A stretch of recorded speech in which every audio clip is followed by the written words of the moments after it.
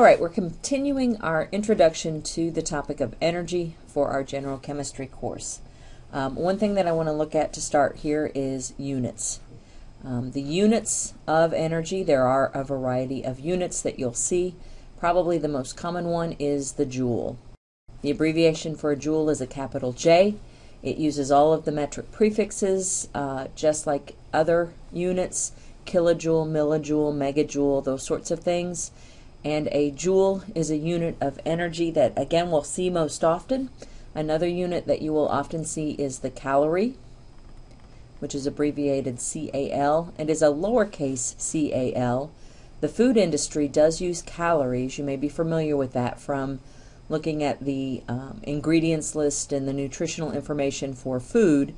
There are calories listed, and that is the, that is the, the food calorie unit is the amount of energy that that food item provides to your body as it is metabolized or you know that's biology. But anyway the food industry will always list the calorie with a capital cal and a food calorie is actually a thousand of the calorie units that we call calories with the lowercase cal or which is the same thing as a kilocalorie. Again all of our metric prefixes work with these guys um, the food industry does not want to put thousands and thousands and thousands of calories per item, so they have gone to the kilocalorie system and they're simply calling it a calorie, but again, it's a capital C. We're going to use a lowercase c calorie almost every single time we need it, unless we're talking about fo food.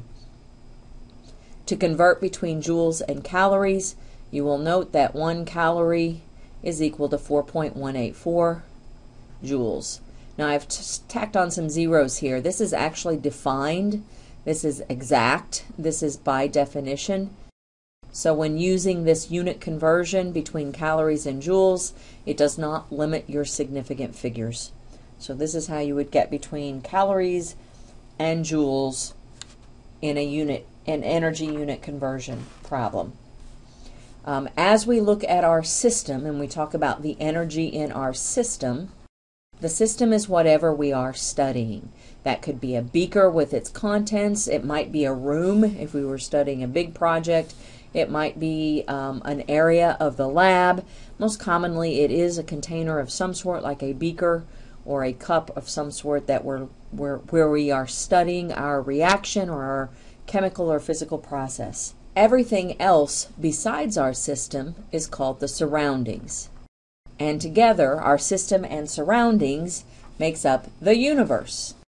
Now, why on earth would we need to worry about the universe? Well, recall the first law of thermodynamics. The first law of thermodynamics says that the energy of the universe is constant, and so therefore we know that for our system to change energy, for the energy of our system to change, somehow energy either needs to go into our system or out of our system, and the two ways that energy is changed is either through work or heat. Either heat can flow into our system from the surroundings or out of the system to the surroundings. Work can flow into our system, work can be done on our system, or our system can do work on the surroundings. And so those are the ways that uh, the energy of our system are changed. We have a sign convention for the amount of heat or work, both types of energy, are um, uh, either done to our system or from our system or by our system. And the sign convention is that any amount of heat that flows into the system is given a positive sign. Any amount of heat that flows out of our system is given a negative sign. Same thing for work. Work that is done to our system is given a positive sign. Uh, work that the system does to the surroundings is given the negative sign. This is a completely arbitrary sign convention, and so you do want to be a little careful if you're working in other disciplines to make sure that their sign convention um, is the same as this, or if it's different than this, then take note of that. Now, there are ways of measuring, um, again, the change in the energy is equal to the amount of heat and the amount of work that is either put in or done by the system or out of the system. And you can actually measure this in the laboratory. You can get um, data to calculate the change in energy for a chemical process or a chemical reaction, but it's a little tricky measuring both heat and work. And for chemists, what we like to do is we like to boil it down to simply measuring the heat. We like to make it so that our work term is zero. And if you go on in chemistry, you'll look at plenty of systems where it's not necessarily zero for your work term. But here in the general chemistry uh, arena of life, we do like to try to boil it down to simply looking at the heat that is either transferred into our system or out of our system. In order to measure a change in energy where it's only our heat so that the, the work term goes to zero, it will go to zero at constant volume. If we make the volume of our um, system, our container that holds our system, constant, uh, regardless of what else goes inside of there. And usually there are gases involved in chemical reactions, and so we hold their volumes constant. Then we can boil it down to that the energy change is simply the amount that the heat has changed as long as you're at constant volume. So the delta E is equal to Q at constant volume. And as we're going to see in the next video, measuring the Q um, is something that we have a very good handle on. So we'll be able to actually come up with numbers for that. Um, the equipment needed to keep a constant volume uh, is called a bomb calorimeter. You do have a picture of this in your textbook. We won't actually do one of these experiments this semester. If you go on and take physical chemistry as a junior or a senior, you will more than likely do an experiment with a bomb calorimeter where you measure the heat and that is the energy change for the reaction. What is more common, especially in the general chemistry uh, arena of things, is not to keep the volume constant, but to look for an easier way to measure the energy of the system. And in comes a new definition. A new definition for energy we'll call enthalpy. Enthalpy is a form of energy. It's a new definition in terms of the energy.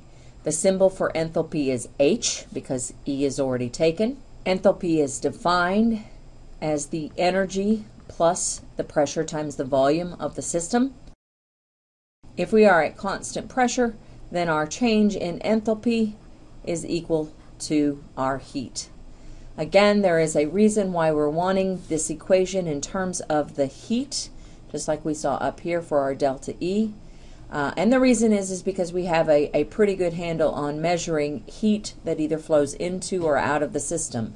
And we'll see that in the next video. So an enthalpy change is equal to the heat measured at constant pressure, the heat that either flows in or out. And again, here we can eliminate trying to keep track of the work by making the work equal zero and just monitoring the heat that either flows into or out of our system to get the energy change.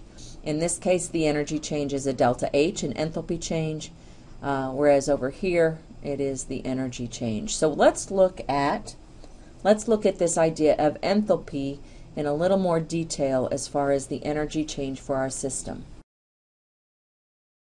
All right, enthalpy along with energy that we were seeing um, before, uh, H, the symbol H for enthalpy, is what we call a state function.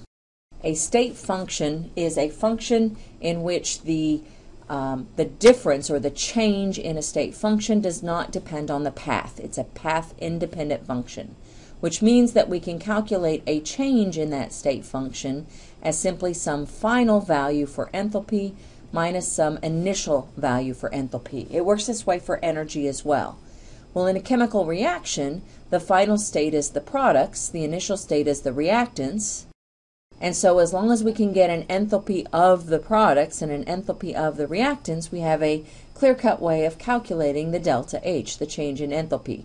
Sometimes it's not that easy to get an enthalpy value for products and an enthalpy value for reactants, for the initial state, but what we're going to see is we've got a lot of ways um, to get those values good enough to be able to subtract them and get a change. So this is what we mean by a state function.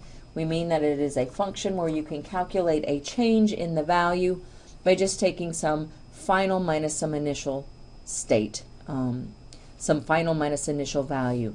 Um, just for comparison purposes, um, volume is a state function. If you say, I've got a cup of water, and over three day period, I want to calculate the change in volume of the water in my cup. I want some numerical value for how the volume has changed. Well, over the three day period, it does not matter what happens to the water in the cup. It could stay absolutely the same for day one, day two, and day three.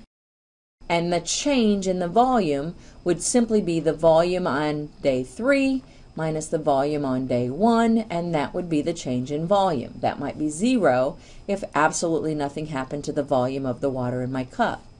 Well, it wouldn't matter if on day one I drank it all, so it's gone, and then on day two I came back and I filled it up again, and so on day three, I see exactly the same volume. The change in volume between day one and day three is still exactly the same, regardless of the fact that I took a different path. Um, so volume is also a state function in the, with respect to the fact that a change in volume is simply some final state minus some initial state. The heat is not a state function. The heat, which is symbolized with a Q, is what we call a path function in other words, in order to in order to calculate the change in heat, the change in the amount of heat, you have to know what path the heat is taking. And that's why we define our enthalpy change is Q, which is this path function, at constant pressure. At constant pressure defines the path. So now we can do we can measure how much heat you know, has changed, how much the heat has changed, and relate that to our state function delta H. Our delta E, our change in energy, is also Q at constant volume. Again, we have defined the path. You can't just say that delta E is the change in Q. It doesn't work that way. You have to add to it. Are you talking about at constant pressure? Are you talking about at constant volume? Because those values will be different. And so this is the way that we can use path functions to, to calculate state functions by defining what the path is.